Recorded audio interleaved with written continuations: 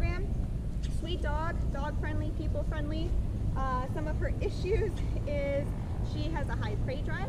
Um, so anything that moves, she tends to get fixated on. She does know some of the basics. Her owners um, has been pretty diligent in working with her, but the stability isn't really there, especially with distraction and because she does have the high prey drive.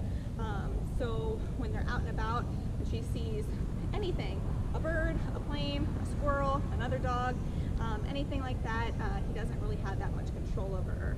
So let me go ahead and demonstrate what she can do for me on day one of training with little distraction. Lena, sit. Lena, sit. Sit. There you go, good girl. Sit, good girl. Sit, good girl. Sit, good girl. Lena, down. Down. Perfect, good job. Good job. Nope. Lena, sit. Lena, sit. Sit. Perfect. Down. Lena, down.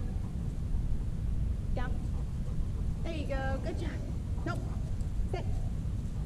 Sit. Sit. Nope. Come. Lena, come. Come. Yes. Sit. Sit. Nope. Come. I'm gonna drag her in here. Come. Good. Lena, place. Come on. Place. There you go. Nope. Place. In. Not sure she knows what the place command is yet. I'm trying to get on top of this object. Sit. Sit. Sit. Good. Down. Down.